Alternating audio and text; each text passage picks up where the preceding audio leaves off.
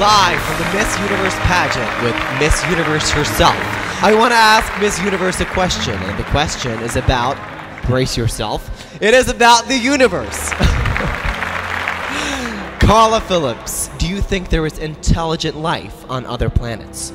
Well, I feel very intelligent, and as far as I know, I live on a planet, so there's your answer. That is beautiful. We'll be right back live after these messages.